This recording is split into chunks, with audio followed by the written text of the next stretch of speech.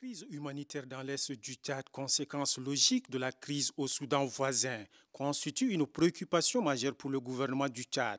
Le sujet a été au centre de l'audience qu'a accordé le Premier ministre Dr Succès Masra à la représentante spéciale de l'Union européenne pour le Sahel, Emmanuela Delry.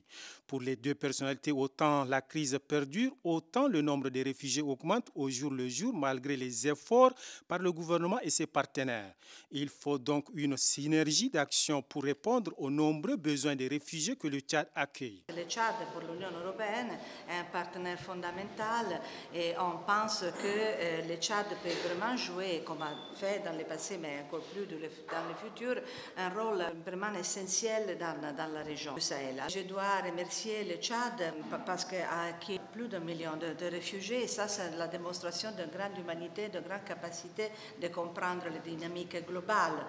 Après Mme Emanuela, le Premier ministre a reçu l'ambassadeur Christophe Reslav, le directeur pour l'Afrique subsaharienne et le Sahel au ministère des Affaires étrangères de la République fédérale d'Allemagne, est venu non seulement pour féliciter le Premier ministre de transition, mais aussi parler des partenariats et de la coopération entre les deux pays, surtout en cette phase cruciale de la transition.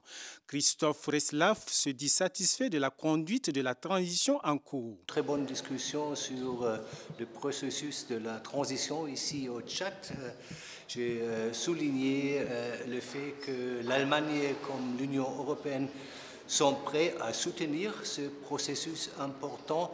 Nous souhaitons que la transition sera une réussite parce que c'est important pour le peuple.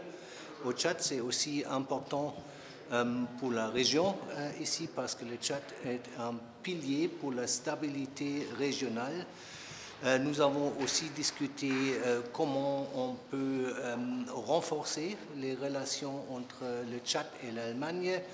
je pense que l'Allemagne a beaucoup à offrir au Tchad et nous avons souligné le fait qu'une transition crédible et inclusive sera euh, le cadre pour le renforcement de notre coopération. Le Premier ministre Dr Succès Masra a rassuré ses interlocuteurs de la volonté de son gouvernement à travailler pour le maintien des bonnes et excellentes relations afin de relever les défis communs et répondre aux priorités du gouvernement de la Ve République.